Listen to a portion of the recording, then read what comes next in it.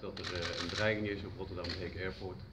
Nou, politie en marechaussee doen er alles aan om eh, de veiligheid te garanderen op deze luchthaven. Vandaar dat u eh, ziet wat u ziet. U ziet marechaussee en politie in de nabijheid van Rotterdam Airport en bij de ingang van Rotterdam Airport. En dat is alles wat ik op dit moment kan mededelen. Mocht er nieuws zijn, dan hoort u dat van ons. Is er een direct gevaar voor de reizigers? Nogmaals, op dit moment kan ik niets vertellen over de inhoud. Maar u roept mensen, moeten mensen Rotterdam Airport mijden? Daar is op dit moment geen sprake van. Hoe kwam de tip binnen? Een anonieme melding bij Op, de wel, op welke manier? Dat kan ik u niet vertellen.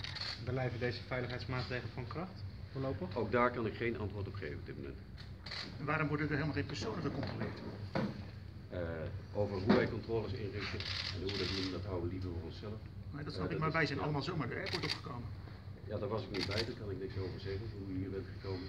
Eh, wij doen onze zaken zoals wij die eh, normaal gesproken verrichten. En heb vertrouwen, we doen ons uiterste best om te zorgen dat mensen op, eind, of, eh, hier op de luchthaven en de omgeving veilig zijn. Waarom nam u die tip serieus? Er is onderzoek naar gedaan en het is in ieder geval zodanig geweest dat die serieus genomen moet worden. En dat wij daar onze maatregelen op aanpassen. Maar mensen lopen hier rond met grote koffers, grote tassen, rugzakken. Niemand wordt gecontroleerd. En nogmaals, ik kan daar geen antwoord op geven. Ik weet niet hoe de controles plaatsvinden.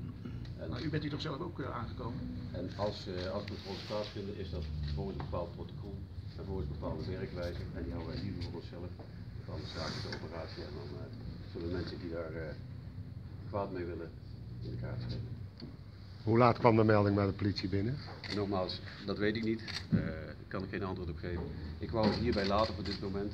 Eh, mocht er nieuws zijn, kunt u dat krijgen via ons Twitter-account of via onze Facebookpagina of politie.nl. En verder heb ik op dit moment niets. Dank u wel. Dank u wel.